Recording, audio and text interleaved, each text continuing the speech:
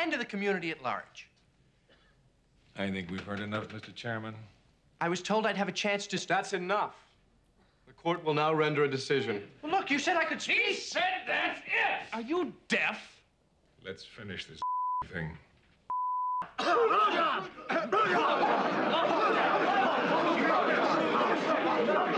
don't think it's fair. I'll tell you what's fair, what's not.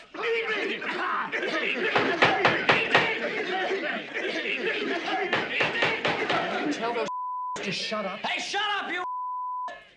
Mr. President, do we have to listen to any more of this? Point of parliamentary procedure. Don't screw around. They're serious this time. Take it easy. I'm in pre-law, man. Thought you pre-med. What's the difference? Ladies and gentlemen, I'll be brief. How do you think he's up to? The issue here is not whether we broke a few rules or took a few liberties with our female party guests. We did.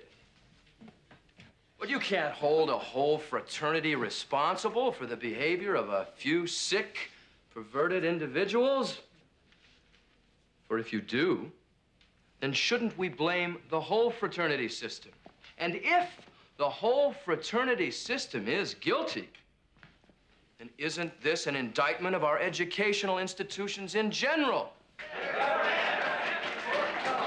I put it to you, Greg. Isn't this an indictment of our entire American society? Well, you can do what you want to us, but we're not going to sit here and listen to you bad mouth the United States of America. Gentlemen!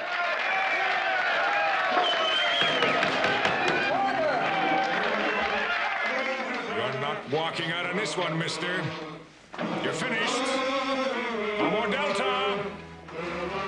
You bought it this time, Buster. I'm calling your national office. I'm going to revoke your charter. And if you wise guys try one more thing, one more, I'm going to kick you out of this college. No more fun of any kind.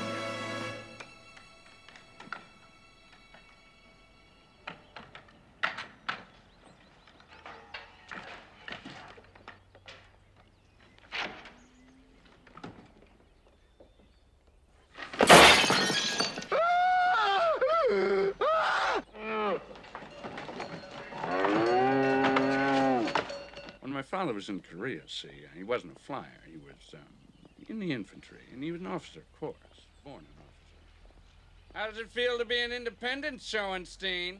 How does it feel to be in Neidermeyer? What did he say? Hoover says they won't even let us enter a float in the homecoming parade. Some stupid zombies get to ride a pile of Kleenex down the street? Rah rah. Hey, look!